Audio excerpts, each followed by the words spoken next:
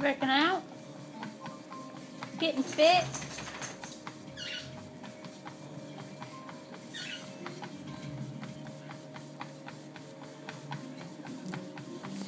Work it, work it.